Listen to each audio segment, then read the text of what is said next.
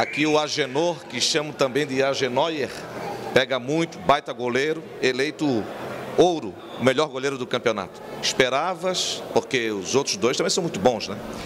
Olha, eu fiquei um pouco surpreso, digo-se de passagem, porque eu tive uma fratura na mão na segunda rodada do campeonato, fiquei praticamente um turno fora do campeonato.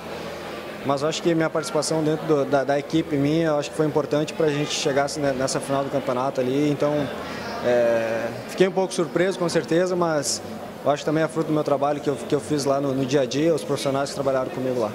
Claro que a Chapecoense tem qualidade, mas eu acho que o Joinville deu a bobeira foi em casa, no primeiro jogo da final, né? É, exatamente. Eu acho que é, a gente começou mal o campeonato, a gente teve uma reação no segundo turno muito boa. Isso nos credenciou ainda mais para chegar nessa final é, com uma motivação extra. É, só que não soubemos tirar proveito desse fator dentro de casa. Felizmente perdemos é, a primeira partida dentro de casa e reverter um placar que já é adverso na casa do adversário, com a pressão que tem é, o adversário lá, é mais difícil, mas é, eu acho que por detalhes a gente também não, não obteve um melhor resultado lá. E o futebol é isso aí, eu acho que é, de parabéns a Chapecoense, porque fez uma belíssima campanha e eu acho que mereceu o campeonato. Agora a Série B, essa é a meta?